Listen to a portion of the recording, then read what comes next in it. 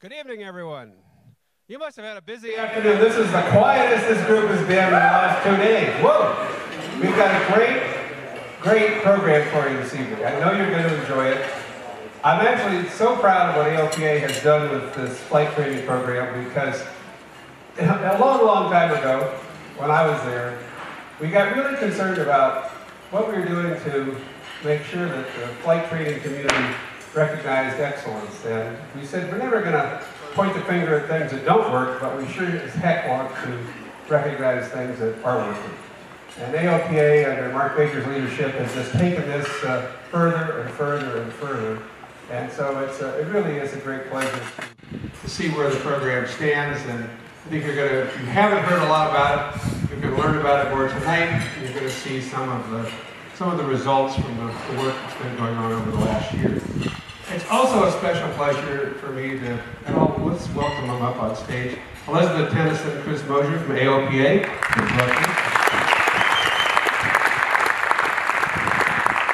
These, these two folks are at the heart of the program, and they'll tell you a little bit about what they do.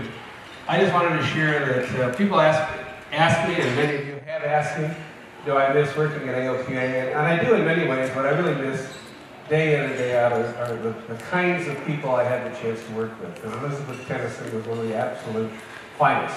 She has experience uh, as the editor of uh, Flight Training Magazine, so she knows the flight training community. She has experience uh, working with me and writing, writing on pretty much every topic that I touched upon over the five or so years I was there, and there were lots of them and uh, has just done a great job. And to the good fortune of uh, the aviation community generally and AOPA specifically, Elizabeth moved back into the area a few years ago and, and uh, once again worked full-time at the headquarters at AOPA. But uh, to both of you, thank you for all you're doing. Thank you for taking a little nugget or kernel of an idea and growing it into something that's really become very exciting. With that, I turn the program over to you. Chris. Thank you, Greg. Thank you.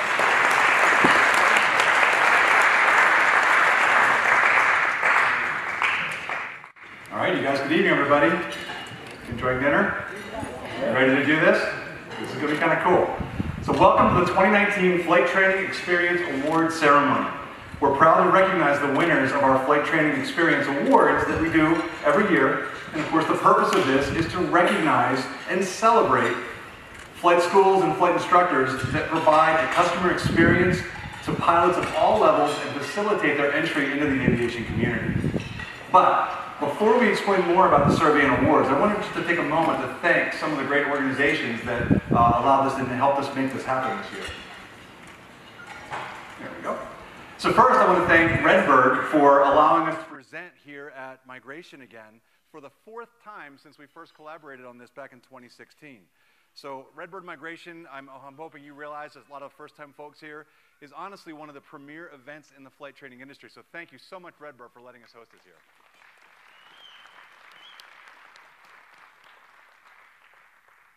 The other thing we like to do is like to thank our sweepstakes sponsors because what we do every year is to help incentivize your customers to take the survey.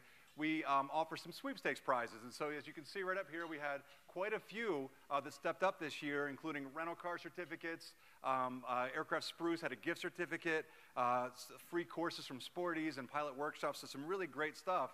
Uh, and it was really kind of fun to give those away and, and to see the surprise or when we make that call and let people know that they won that. Now, something really cool as a special bonus. This is for the second year now.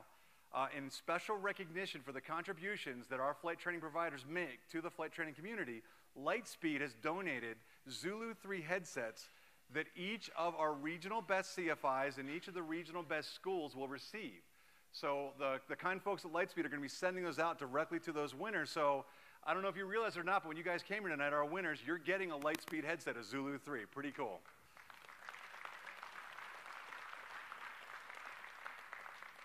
So, the survey and awards are part of AOPA's You Can Fly program, and to go into a little bit of deeper perspective on what that program is about, I am pleased to introduce You Can Fly's Executive Director, Elizabeth Tennyson.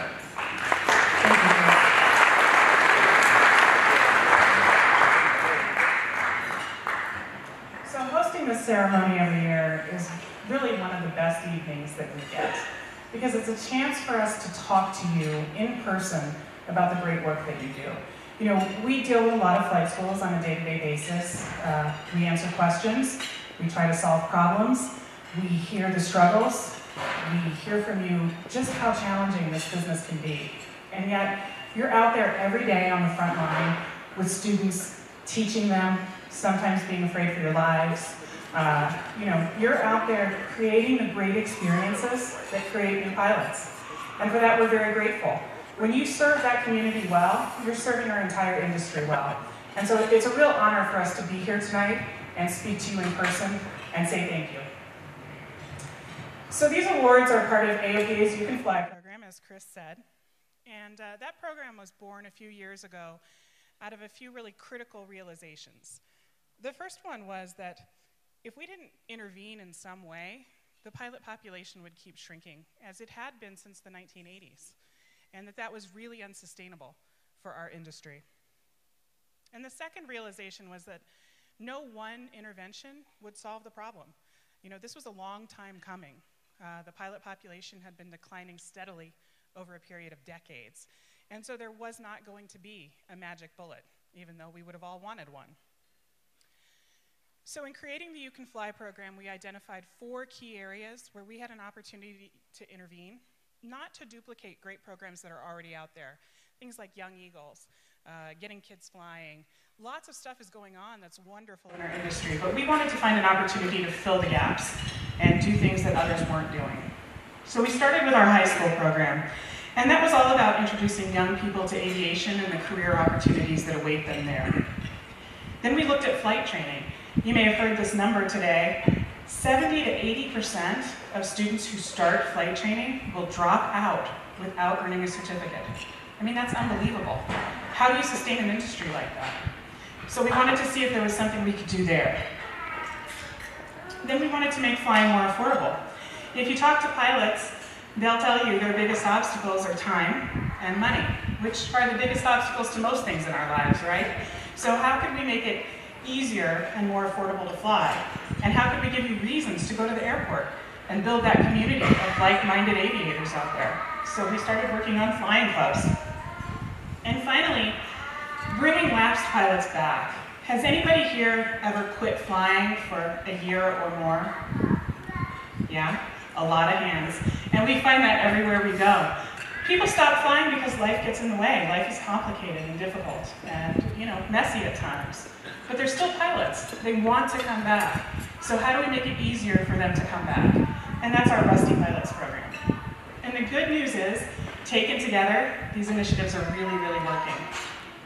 Right now, more than 5,000 students in more than 160 schools in 34 states are using the AOPA Aviation STEM curriculum to learn about careers and opportunities in aviation and to prepare them for higher education or jobs in our fields. More than 130 new flying clubs are started around the country. That's serving thousands of pilots, and they're actually flying more, which is exactly what we hoped for. And more than 7,500 lapsed pilots have reported to us that they are back in the air after taking the Rusty Pilots course. So we are seeing real numbers with real meaning that are bringing people back into our industry. And while we're very excited and proud of all that, it would not be possible without you. We can create the programs, but you are the people on the front lines teaching these people to fly, getting them back in the air, giving them recurrency training, helping them be safe pilots. And for that, we are truly appreciative.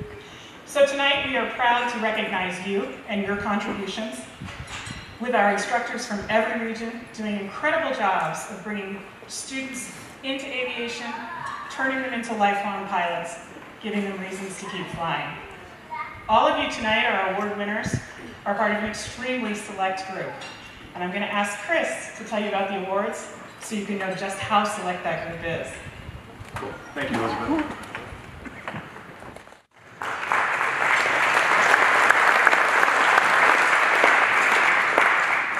Okay, just a little bit of background. The Flight Training Experience Survey and Awards are based on some research that AOPA did about what makes the best flight training experience. In that research, they identified four areas uh, where they were critical to making that good experience. Number one was educational quality, two was customer focus, three was community, and then the fourth was information sharing. Now, it might seem like doing these kinds of things would just be common sense, but delivering on that every day takes commitment and hard work. So the fact, I know that folks here, they're in the flight training providers that we have, and of course our award winners, I want to thank you for making that commitment every day to providing that great flight training experience. Now, before I announce our winners, one thing I did want to, to, just reflect on a little bit is that we get an awful lot of data from this. When you think about it, people are lucky to get maybe 200, 300 respondents to a survey. This year we had over 7,000 people that responded on your behalf, your customers, letting us know what they thought about the service that you're providing.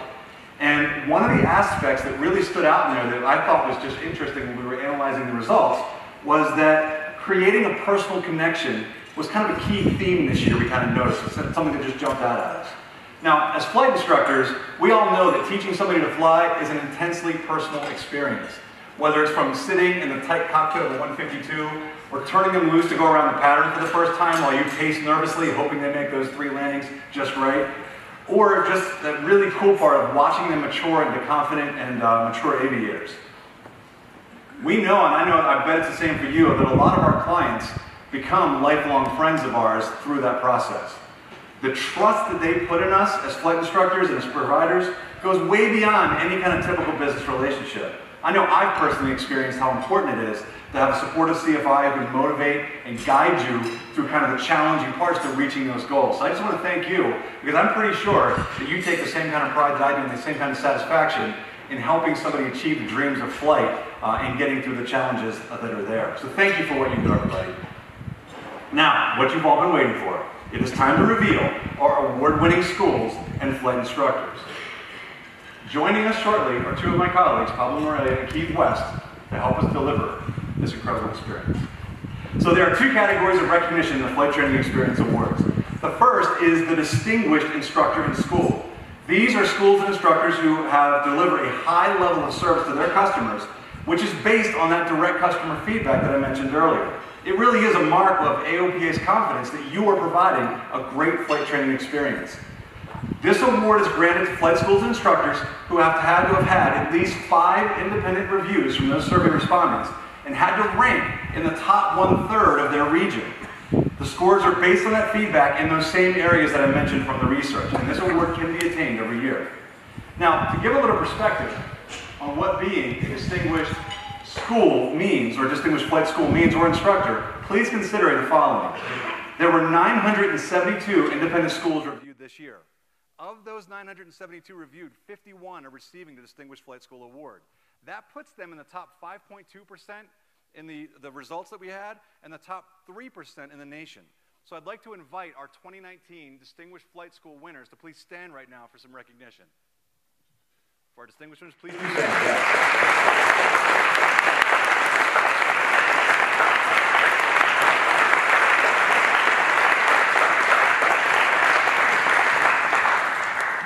For our distinguished flight instructors, there were 1,876 different instructors reviewed.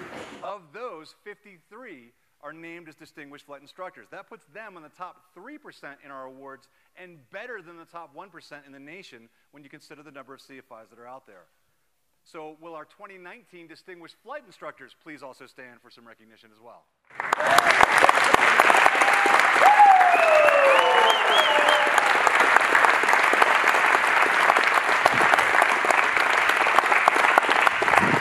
Congratulations to those schools and instructors, and thank you for doing what you do.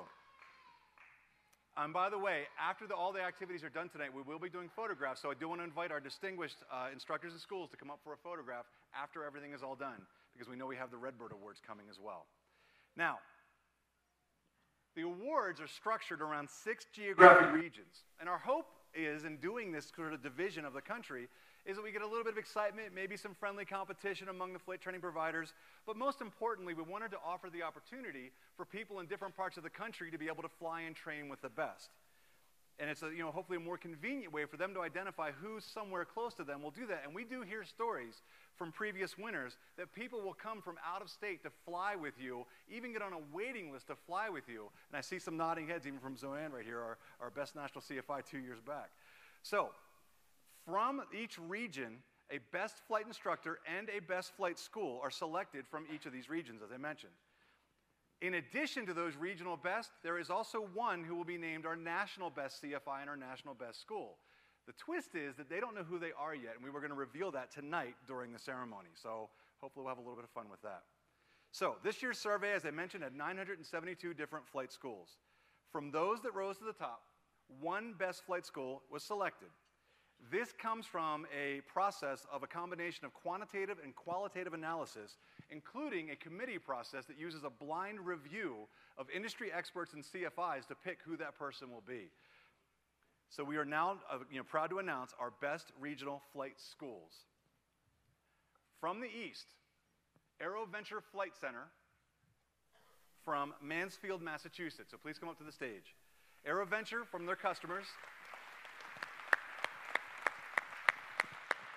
One customer said, AeroVenture is, in my opinion, the best flight school I've attended so far. AeroVenture is without a doubt the most professional, attentive, safety conscious organization that I've ever seen. The staff are courteous and always available, and the instruction is organized, engaging, and clear. So, congratulations to AeroVenture.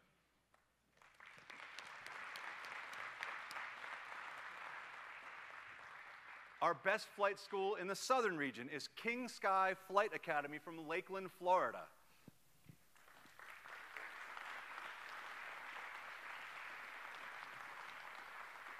Customers for King Sky said the staff is incredibly supportive, friendly, and professional. The CFIs are all friendly and professional, and as a veteran, they've been incredibly helpful in assisting me in my pursuit of a commercial rating. I'm glad that I chose King Sky.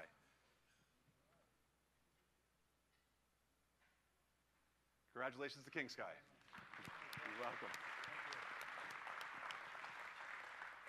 From the Great Lakes, Spencer Aviation from Delaware, Ohio. Come on up, Spencer. I know Michael's here. One of Michael's customers said Spencer Aviation's flight school has been an absolute pleasure to attend. They consistently provide outstanding customer service, expert instruction, and good value to their students. I would highly recommend Spencer Aviation to anyone interested in learning to fly. Nice job, Michael. Congratulations.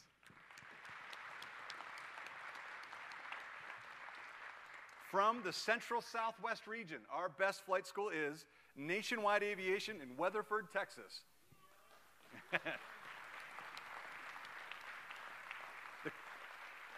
one of their customers said the culture at Nationwide is like no other in the sense that it exceeds all other flight schools I've attended in both quality and professionalism.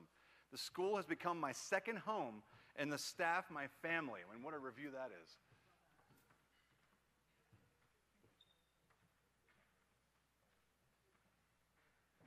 Congratulations, Nationwide.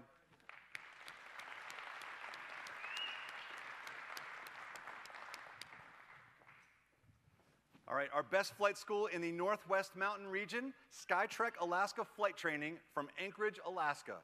I know Jamie's here.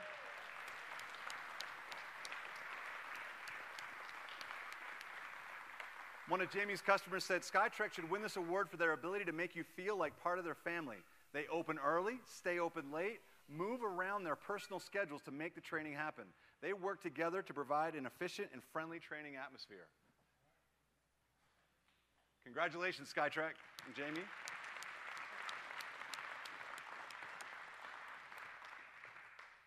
And our best flight school in the Western Pacific region is Sierra Charlie Aviation from Scottsdale, Arizona. Come on down, Sierra Charlie.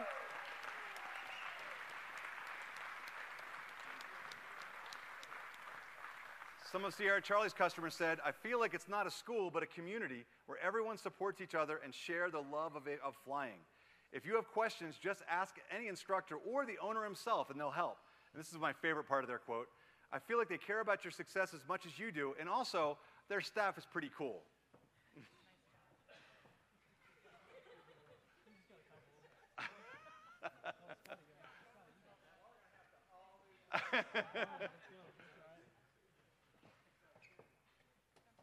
There we go. I'll hop in.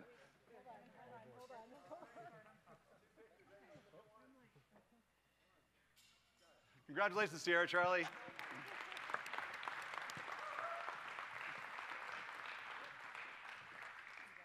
And now, I have the pleasure of revealing our 2019 National Best Flight School. Pablo, the envelope, please.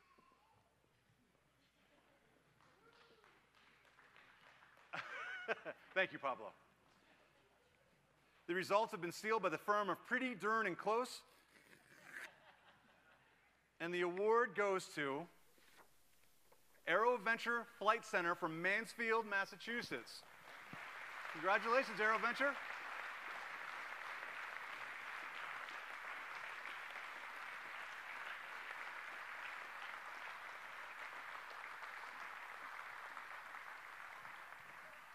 In their results, AeroVenture mentioned, or their, folks, their customers, ah, I'll try that again. In the results, customers said they were friendly and family oriented. They were quality people. I know one even named Deb outright, so Deb is one of the most amazing people I've ever met. Up to date equipment and technology, balanced learning, both theoretical and practical, so you, both sides of it, and that they were transparent and budget conscious and, and provide a great value. So let's hear it for AeroVenture, our 2019 National Best Flight School.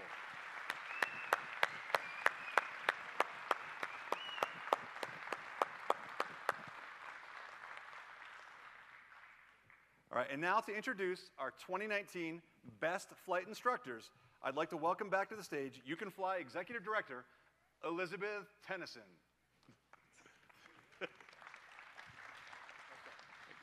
What a great reaction that was, huh? Um, and to see so many people from one school here tonight, that is fantastic. Talk about the, the kind of spirit, the kind of community that keeps people coming back and keeps people flying.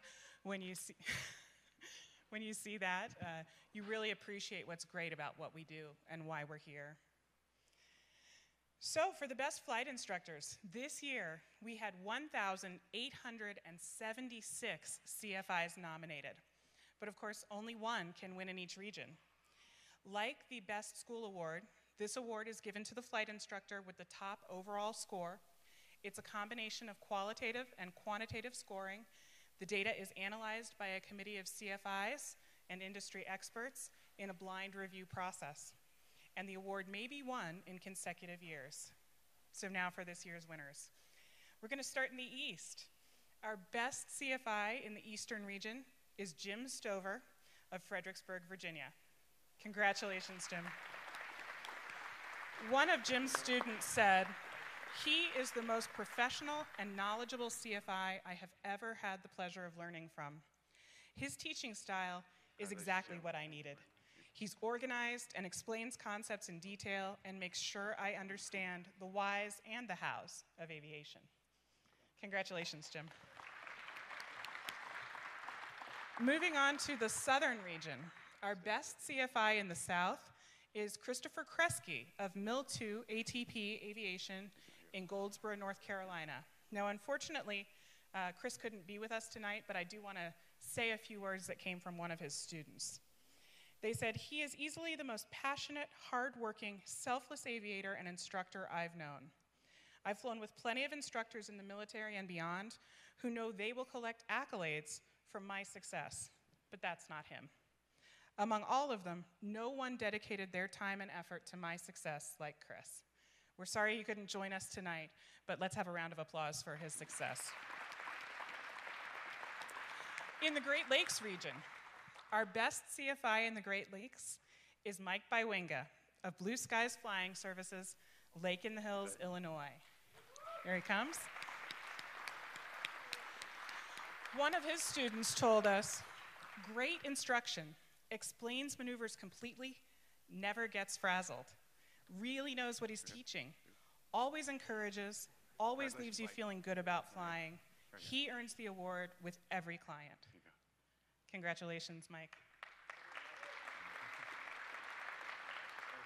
Congratulations. In the Central Southwest, our best CFI award goes to Howard Davenport of Texas Flight in Houston, Texas.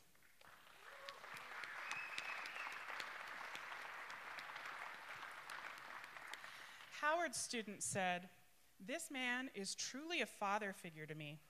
When everyone else had given up on me or flat out refused me as a student, he worked tirelessly to motivate me, then convinced me not only was I worthy of the CFI rating I was chasing, but that I would be an amazing instructor. So I think we can really see that Howard turned a life around right there. Mm-hmm. Congratulations, Howard. The best CFI in the Northwest Mountain region goes to David Novotny of Colorado Springs, Colorado.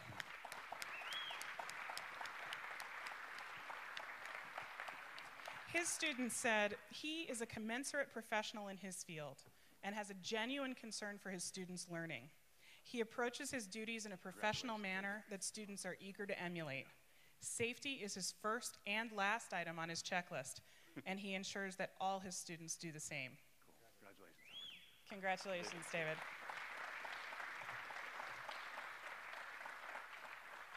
Our last region, the Western Pacific. Our best CFI in the Western Pacific is Kinsey Moss of Phoenix, Arizona. Phoenix. Kinsey? Her student told us Kinsey is one of the most professional and knowledgeable instructors I have come across in my life. She constantly made me feel comfortable and safe in the plane, as well as not intimidating me or making me feel inferior. Kinsey is truly passionate about flight instructing. She's patient, knowledgeable, and a skilled aviator. Congratulations, Kinsey. And now for the envelope, Pablo. this time I'm actually going to ask you to go ahead and rip that open. it's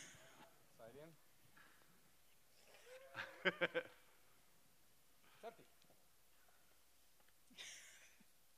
I'll let you take it out. Thank you.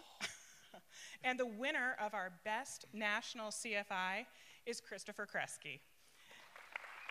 As we said, he could not be with us tonight, but that gave us an opportunity to, uh, to fill him in a little early. So we gave him a call and had a quick little conversation with him. So we have a video to share with you about Chris. One of the things that we uh, wanted to give you a call today was, as you know, we let you know that you are our um, best CFI in the southern region in the Flight Training Experience Awards for 2019. Um, you got some amazing reviews uh, from your uh, folks there that train at Milta ATP, and I know you uh, focus on helping. Uh, basically, it's guys coming from the military, folks coming from the military to train to get their that ATP.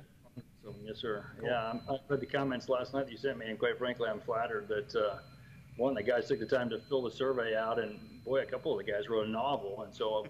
Um, uh, anyway, I was flattered that guys would take the time to fill out the survey. I certainly do this as a labor of love. So, um, I also wanted to let you know that not only are you our regional best CFI in the South, but you're also the national best CFI this year.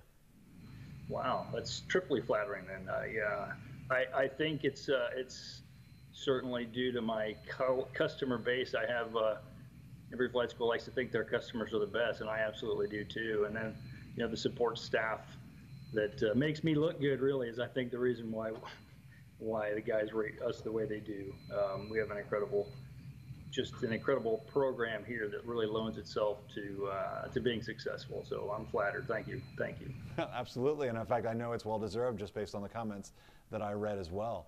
Um, and I'll ask you one other question. Do you have any? Uh, any tips or secrets that you might share with other CFIs to kind of show like what, what do you what is it that how do you approach it that might be uh, maybe your secret sauce or maybe it's just something you even consider something like well everybody should be doing this it's it's almost unfair, quite frankly, because I don't uh, I don't do this for a living. As I said a minute ago, it really is a labor of love. So uh, I'm a retired F-15E pilot, uh, and then I'm also an airline pilot for a major airline. So I'm a I, I can do this. Uh, I can I can put in 12 or 14 hours teaching ground academics because I really enjoy doing it. I think I've uh, I've been blessed with a job that I love. And so it's really a job. And, and that's really how I look at it and how I view it. I, I'm not trying to build hours, I'm not trying to make money.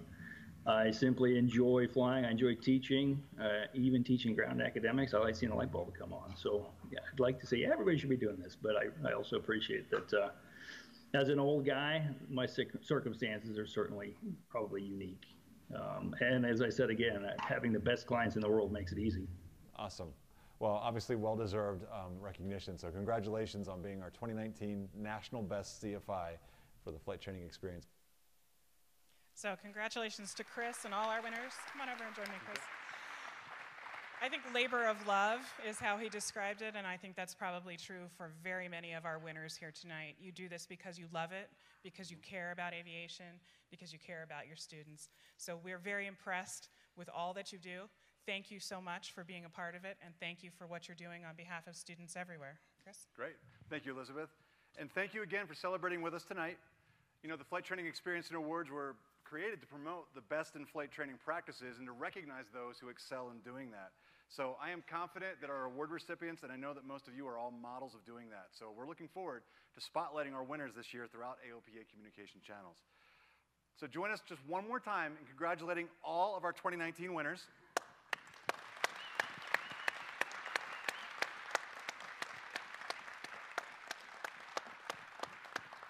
And just a quick reminder, we will do photos afterwards. So um, I'd like to go ahead and uh, introduce Josh? No? Charlie. Charlie's going to come on up. And, uh, and now we get to see the really cool stuff, these moon awards as well. So let's just see what happens with the moonshot, as it were. Thanks, Chris. Uh, congratulations to all the AOPA winners. It's a huge accomplishment. One more round of applause. Thank you very much for joining us here at Migration, and thank you so much for doing that. Um, if I could have Dave and uh, Paul and Julie join Ethan over here off to the side, or uh, for the for the pitch off later, we can get you get you ready to go there. We had we had an interesting. Uh, I would say the submissions were interesting for the the challenge awards this this year, but the, uh, unfortunately we only had four awards to give out. So of all of the great submissions that we got, I we have uh, we deliberated it, it, it took a lot, but we've found the top four uh, Migration Challenge Award winners. And as I announce your team, team, if you can come up here and, and collect your trophy from our lovely assistants over here, who are not over there. Over there, there we go. Um, and then gather over on this side of the stage here, if you could, um, and then we'll bring you up one at a time to pitch off for your chance to win the grand prize. You're not going to want to pass miss this. So, the first award, the roughly 2.57 times 10 to the negative third AU award, goes to Team 21, the Extended Squitters. I guess I shouldn't clap when I've got a handheld here. The 102-47-11 award goes to team number 22, Red Moon Express. The Bean Counter Award goes to actually there's a for this is a first. This is a first in migration history. We've had a team abdicate the throne and decide they did not want to gather, uh, take take the trophy, and so the runner up, and this will be interesting because they haven't been told they're the runner up, and now they have to come give a presentation on stage. Team number two, because we can. Come on, Mike. Come on, Mike. I see you.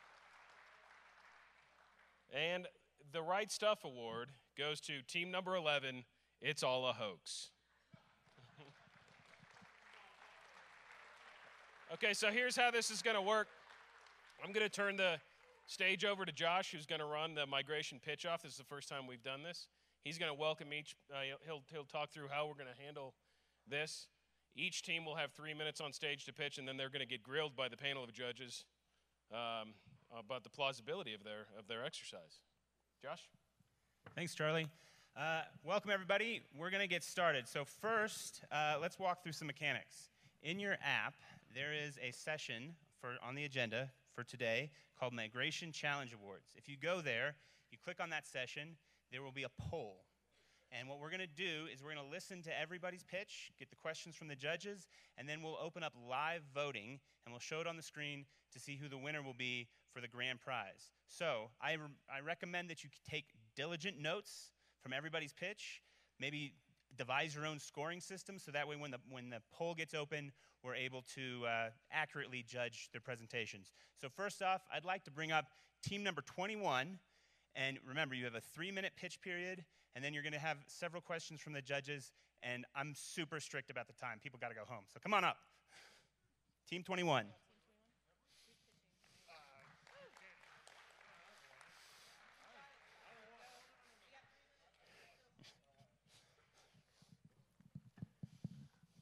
So uh, Dan, Dan is going to be our pilot, but Dan's going to help us present. Dan, Dan, you all right? What? Come on, come on. We got we got to present to these guys. Where's the old man? The old man? I don't know. Where's our Where's our leader? He's he's commanding this whole damn There. thing. He's in the bathroom. All right, come on, come on. That guy, I'll tell you what, he kid, he got, uh, he doesn't know how to do his job. Captain Dan. Sir. Lieutenant Bill. Sir. Captain Stassi. Do you understand the mission? I do. What is the mission?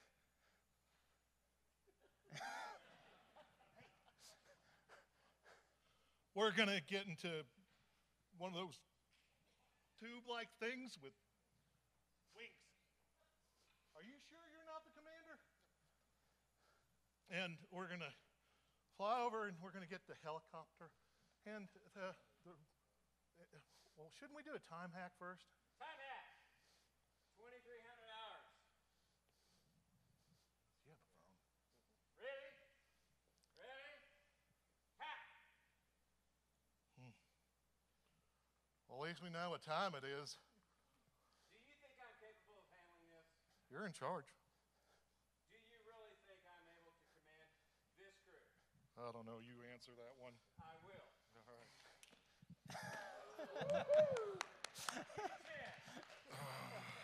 All right, our mission today is to inspire tomorrow's pilots, ITP.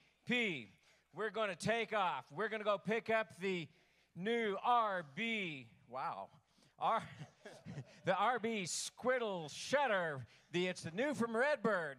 Uh, we just got the uh, got it today, getting it, and then we're heading to. Uh, where's my notes? There they are to the elementary schools. Uh, uh, Buzz Aldrin Elementary in Schaumburg, Aldrin Elementary, Western Virginia, and Buzz Aldrin Middle School in Montclair. We are going to give these guys something to remember. And do you have any more details here, Captain Dan? What? I think he's on Tinder. Swipe right to like, baby. Captain Dan, you're grounded. Let's go, guys. We got to go. I don't know. Can't believe I have to Oh, oh, okay. Yes, sir. Okay, is that the, the, the completion of your presentation, your That pitch? is. Okay, all right. well, I applaud you for both aerobatic, or uh, uh, whatever that is, gymnastics and brevity. So good job. Winner on my count. Uh, judges, do we have any questions? Maybe what their actual plan is? Yeah, I've got a question. Captain Dan, can you please defend your choice of the Helles Lager over the IPA? Well, the IP was a little too hoppy, I thought, and uh, you know, this kind of just went down and didn't really give me that whole, you know, bloaty feeling. Okay. No, no. Camera down. All right, judges, next question. Well, you never talked about Area 51, but do, do they know you're missing from Area 51 now? We can neither confirm nor deny. Yeah, just a, a observation that this this uh, this commander is in serious danger of a fragging. Okay. All right, Team 21, thank you very much. But good ADM grounding people, right? yeah. All right. Okay, now we'll bring up team number 22, uh, the winner of the closest to the time award.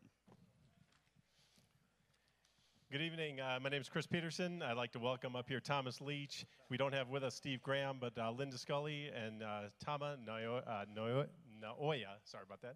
These guys were a great team. I tell you what, we worked really hard on this thing. We ended up putting together three different uh, three different aircraft. We had our uh, a helicopter, a Bell 505 Jet Ranger, which we found on controller.com. We took a Pilatus PC-12, also found on controller.com, got N numbers, serial numbers, and uh, then we ended up actually uh, investing a little bit into NetJets and bought in it to a share of a Global Express 6000. So we ended up leaving Earth, Texas, right? We go to Muleshoe, Texas, in our Jet Ranger. We leave from there in our Pilatus and shoot out to Teterboro. Now, the reason we went to Teterboro is this: we got a red envelope, okay? We got and in our red envelope it says like Apollo 8, Apollo 10, and Apollo 13, they didn't make it to the moon, and you're not going to make it to the moon either. So you don't get to land at the moon. So then we ended up having to uh, do a few other things there. We landed at Teterboro, at which point we picked up our Global Express 3000. Where did we decide to go? We decided to fly it on down to Key West. And down in Key West, well, we ended up meeting up with Jimmy Buffett. We sang a little Margaritaville. It was five o'clock somewhere. And then we met up, uh, took Sammy Hagar and Shania Twain. We all ended up on uh, Jimmy Buffett's airplane, the Hemisphere Dancer, uh, and his Albatross. And we toured around for about oh, 11 hours or so in that airplane. It was really awesome. We threw a huge party, and then in addition to that party, it was a fundraiser. And what was it a fundraiser for? It was a fundraiser for this very museum right here, the Wings Over the Rockies Museum, so that we could come back and donate a large amount of money, whatever we could raise, to this fine museum. After we left there, we decided, hey, we've got this Global Express. We might go somewhere else. So how about we go out to Maui? So we flew out to Maui to take a look at Charles Lindbergh's grave, you know, just to see what that was like. And then we left from there and went up to Nova Scotia to take a look at the uh, total eclipse of the sun. After that, we decided to return back uh, via Teterboro and then back to uh, Muleshoe and then back to uh, Earth. And what was that? Oh, that's right. And we did, in fact, circle the moon, just like Apollo 8, 10, and 13. And there you have it, ladies and gentlemen. Successful mission. Okay, um, Team 21, or Team 22, just a point of clarification. How many aircraft did you fly in during yours? Was it exactly? Three total aircraft. Three total Three total aircraft. aircraft, okay. yes. All right. Uh, judges, do we have any questions for Team 22? Did you see the green flash? I'm sorry, can you say that one more time? Did you see the green flash? Oh, we did, and the Northern Lights, and it was beautiful. It was amazing. You know, you're, we, we gave you a pass on your budget for all those touch and goes, the landing fees at Teterboro. You didn't include those in the total. Yeah, we, we knew somebody, so you know they they they, uh, they hooked us up. Did you think this song was about you? Well, I was I was a little vain, but you know. Oh.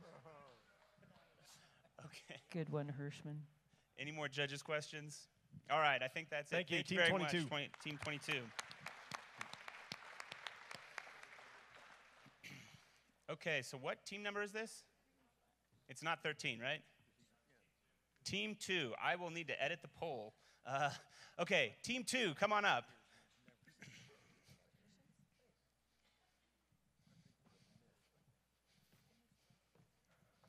All right, go ahead and start.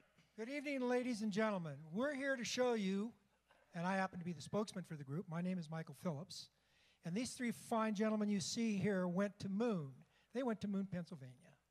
And, but what really is more important is Albert Glenn, Chris Erlinson, and Hal Fury.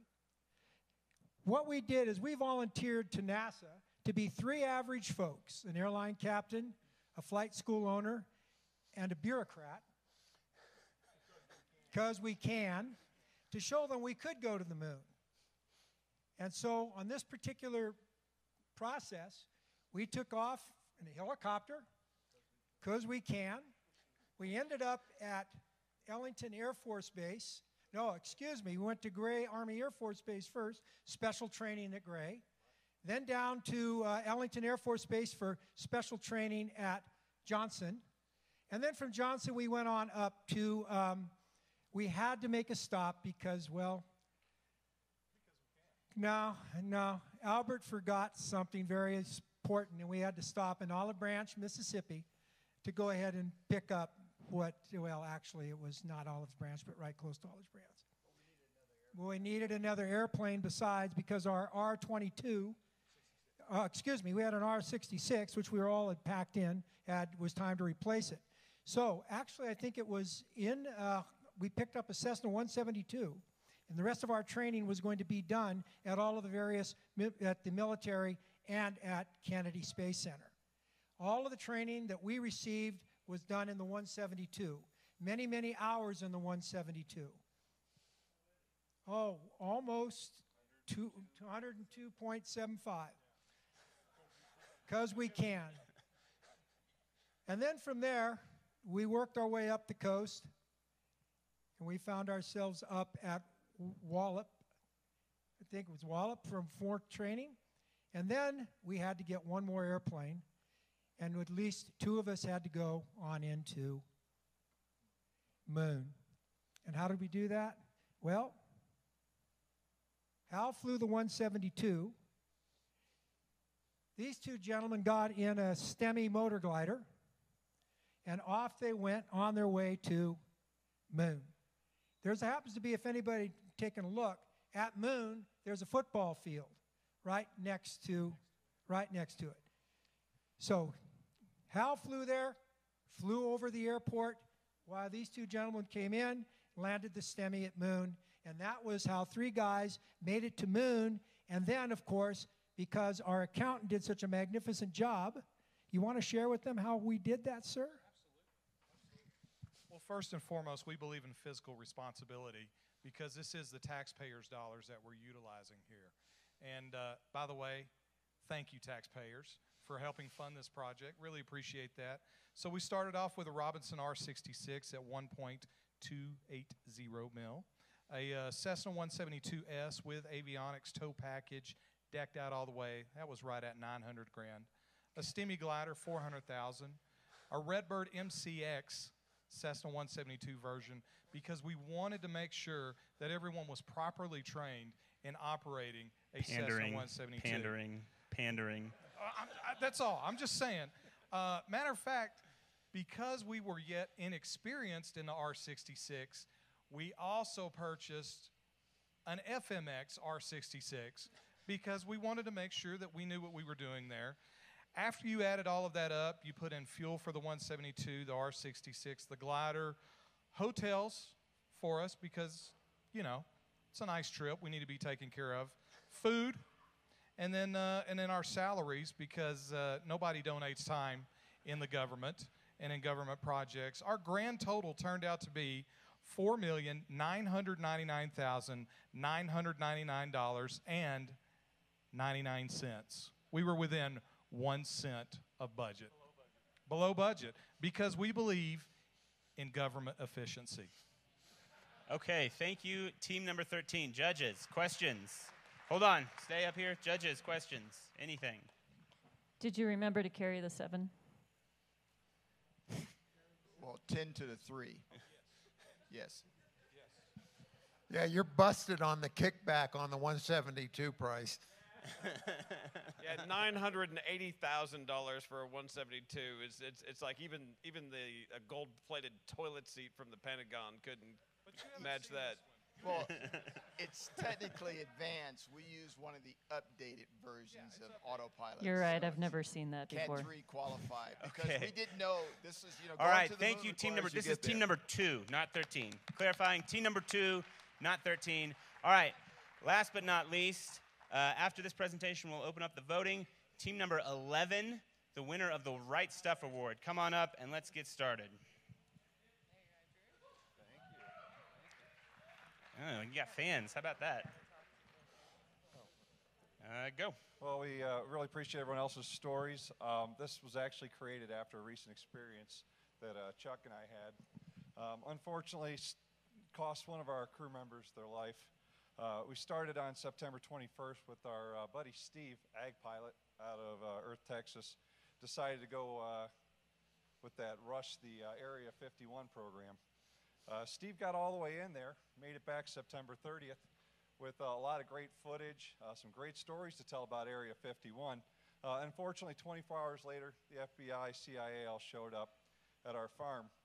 Um, apparently, they weren't real thrilled with what happened, uh, so they told us we needed to go get debriefed. Uh, Chuck offered his uh, buddy's 170, it was a Cessna 170.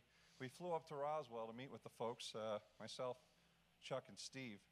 Uh, once we arrived, uh, they wanted all the information that we gathered. They weren't quite sure what they'd lost. So we began to negotiate. We said that you know Steve had some pictures of some pretty cool aircraft. In exchange for us giving all the information and forgetting all about it, we just needed to go on a little bit of a ride. Uh, so they did provide us with a uh, nine-orbit trip aboard a TMG Federation uh, Type 6 shuttlecraft. Um, copied by Hollywood in Star Trek. Uh, but we, we took this thing for nine orbits, um, eventually meeting in uh, New Hampshire. I believe it was uh, Twin, Twin Mountains, Twin Mountain, New Hampshire. There's a secret government base that uh, disguised as a maple syrup farm. Um, once we got there, uh, Sikorsky provided us with the S-70 to uh, go ahead and head down to our next stop, which was West Wind. West Twind, um, where we actually went through the full debriefing. Um, as you can imagine, it took uh, three days, ultimately re- resulting in uh, about 102 hours and 40 minutes. Um, and we, you know, they, they interviewed us all. We, we went through, I mean, imagine your worst medical, physical. Uh, CIA was pretty brutal. Um, probes, you name it. Um, ultimately, they, they finished up with us and uh, told us they were sending us to the moon. Um, they kept Steve, God rest his soul, um, and, and we climbed aboard. And they actually didn't send us to the moon, they sent us to Moon, Pennsylvania. And as a Cleveland Browns fan, that's as close to hell as you can get. Um, that's Pittsburgh. I mean, Christ, I'm in Denver right now, which is my other foe. Um, but unfortunately, you know, we went through this whole experience, and uh, while it was quite fun, we, we paid a heavy toll. We had our $4 million budget, but the uh, $5 million budget, but the, uh, the human price was much greater. So we, we thank Redbird for the opportunity to tell our story. Uh, if this is the last time you see us, at least you've all been made aware now. And we, uh, we hope that you can continue to tell our story and uh, let the world know the truth. Okay, thank you, Team 11, for that interesting uh, journey to Area 51 ish. Uh, judges, any questions for Team 11? Was it grade A or grade B maple syrup? It was, uh, wasn't grade A, it was dark amber. Which, Dark amber. yeah. Okay, that's important. When do we get Steve's remains back?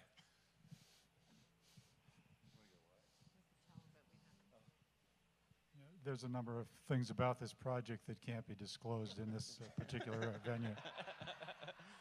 And when will we when will we be seeing this on the Netflix series? Because that just seems this just seems like a perfect. You probably won't ever hear or see any of this again, or us, really. Okay. Thank you, Team 11.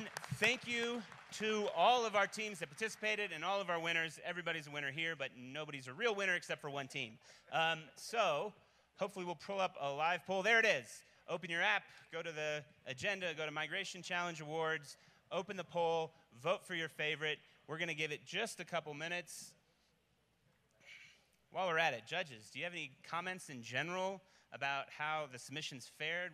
What was the level of probability that of any of these various submissions? Was, would, it, would anybody actually accomplish the mission? Uh, we went over these with a great deal of rigor. We examined them as carefully as we could, and we determined that there is zero probability of any of them succeeding. Okay, okay, understood. But you do have to admire the mix of of uh, technical savvy, paranoia, and creativity that went into some of these. And Yeah. And, any, uh, any really egregious abuses of the taxpayers' dollars? Many. But there was, I got to say, there was great consensus among the judges on who the winner should be. And, uh, and that consensus seems to be being borne out by the results of the, uh, oh, the survey as wow. well. Judges le- leaning in on team number 11.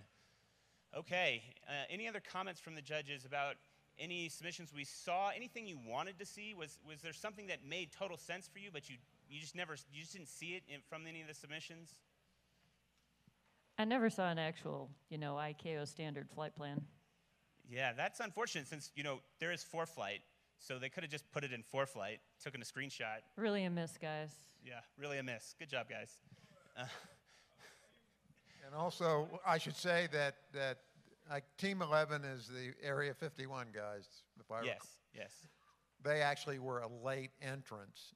And one Oh. of the others we had picked as, as, as first, but it was so entertaining that we couldn't possibly not pick it as number one. Okay, well, we're gonna we're gonna wrap up voting in about 30 seconds. So one more question or comment from the judges: Where do you see the future of this program going?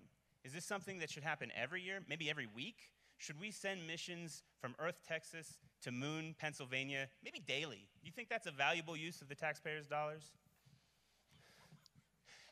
Okay, no comment. Excellent. All right, so we're going to go ahead and close the poll. Charlie, do you want to come up and uh, officially announce our winners? Sure, we're going to give this about five more seconds. Clearly, you can tell that with the migration challenge, it's more uh, important to be entertaining than to actually adhere to any of the rules. So, um, good job. We have a man. It is neck and neck here. It is neck and neck. What, do we have a timer on this, or we just let I- it go? We're, we're rolling at two minutes and 30 seconds right now. Uh, all right, we're gonna. We want to roll it till three minutes? No, I, I think everyone wants to go home, and we got. Okay, all right, yeah. We let's, got to let's go grand home. All right, we're going to disable vote, voting now. Okay, so it looks like team number two in a late comeback. Did I read that right? Team number two. Come on up here. Team number two. team number two. The beneficiaries of an abdicated trophy. Voter fraud. Come on up. Come on up. Come on It's up. rigged. And now for the big reveal.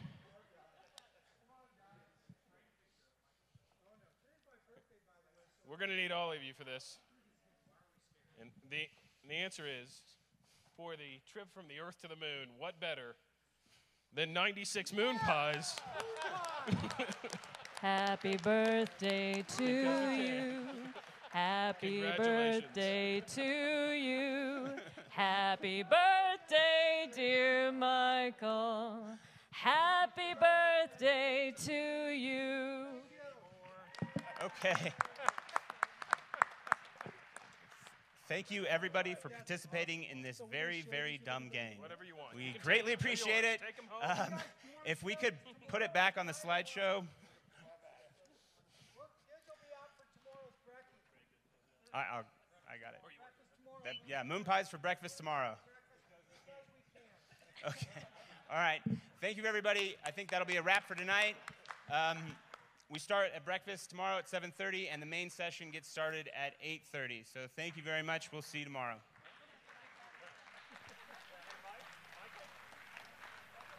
Oh, and uh, as a reminder, if you are an AOPA award winner, please come up to the stage uh, to get your picture taken.